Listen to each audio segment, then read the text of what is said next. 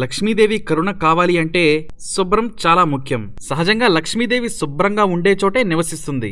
ఇల్లు శుభ్రంగా మనసు పరిశుభ్రంగా ఉండాలి. ముఖ్యంగా స్త్రీలు ఇంట్లో రోధించకూడదు. వంటగదిని చాలా శుభ్రంగా ఉంచుకోవాలి. ఎంగిలి గిన్నెలు కంచాలు లాంటివి రాత్రిపూట అలాగే వదిలేయకూడదు. ఇంట్లో ఎక్కువసేపు నిద్రపోవటం ముఖ్యంగా సాయంత్రం వేళ నిద్రపోవటం లాంటివి చేయకూడదు. అంతేకాదు నిత్య దీపారాధన కూడా చేయాలి. ఇక పూజ సామాగ్రి పూజ గది వారానికి ఒకసారైనా కడగాలి. ముఖ్యంగా శుక్రవారం పూట. అయితే కొంతమందికి ఒక డౌట్ ఉంది. లక్ష్మీదేవి వారం శుక్రవారం. ఈ శుక్రవారం రోజున చెత్త బయటకు చేరవేయకూడదంటారు. మరి అలాంటప్పుడు శుక్రవారం రోజున పూజ సామాగ్రి దేవుని పటాలు కడగొచ్చా అనేది చాలామంది సందేహం. దీనికి సమాధానం మన ధర్మ సందేహంలోనే ఉంది. శుక్రవారం పూట దేవుడి పటాలు పూజ సామాగ్రి నిస్సందేహంగా కడుక్కోవచ్చు. అయితే శుక్రవారం కంటే కూడా గురువారం పూట శుభ్రం చేసుకుంటే ఇంకా మంచిది. అయితే వాటిని శుభ్రపరిచే విధానం మాత్రం తప్పక ఆచరించాలి. ఎలా పడితే అలా అస్సలు చేయకూడదు. పూజా సామాగ్రి ఏ విధంగా శుభ్రపరిస్తే ఆ సిరుల తల్లి వెంటనే కటాక్షిస్తుందో తెలుసుకుందాం.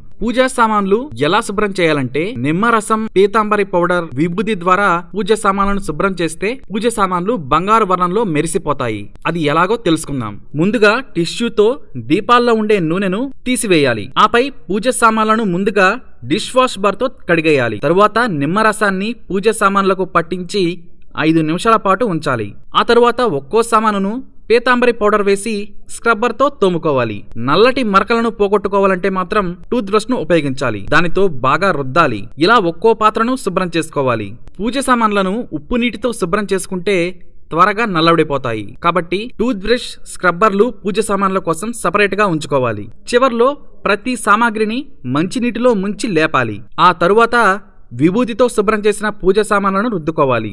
దాని తరువాత పొడి బట్టతో తుడిచేయాలి ఆపై పూజ సామాన్లు కాసేపు ఆరిన తరువాత చందనం పసుపును కలిపి బొట్టుగా పెట్టాలి. ఇలా శుభ్రం చేసుకోవడం వలన పూజా సామాగ్రి తళతళ మెరుస్తూ మనం దీపారాధన చేసినప్పుడు పూజ గదికే ఒక కళను అందిస్తాయి. పూజ గది అలా కళగా ఉంటే ఆ లక్ష్మీదేవికి పట్టరాని సంతోషం. ఇక మీ ఇంట సిరుల పంట. ఇక మనం గుడికి వెళ్ళినప్పుడు కుంకుమ ప్రసాదాలు ఇస్తారు. మనం తెలియకుండా వాటిని పారేస్తుంటాం. కుంకుమ ఎక్కువగా పారేయకపోవచ్చు కానీ ప్రసాదం చెడిపోతే పారేస్తాం. కానీ ఆలయాల్లో ఇచ్చే కుంకుమ విభూది ప్రసాదాలను కింద పారేయకుండా తులసి చెట్లలో వేసేయాలని పండితులు చెబుతున్నారు. ఇలా చేయడం ద్వారా పవిత్రంగా భావించే ప్రసాదాలు మన కాలికి తగలవు. దాని ద్వారా కొన్ని దోషాలు అంటవని పండితులు చెబుతూ ఉంటారు. మనం ఏది చేయాలన్నా ఆ లక్ష్మీదేవి కటాక్షం కావాల్సిందే. కాబట్టి ఈ ఆచారాలను తప్పక మనం పాటించాలి.